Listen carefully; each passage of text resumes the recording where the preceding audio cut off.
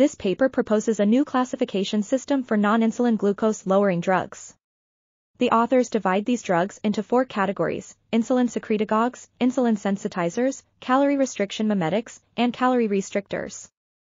These categories are based on their mechanism of action and potential therapeutic benefits. The proposed classification system can serve as a guide for both students and practitioners, providing a clear understanding of the different types of drugs available for treating diabetes. This article was authored by Sanjay Kalra, Saurabh Arora, and Nitin Kapoor.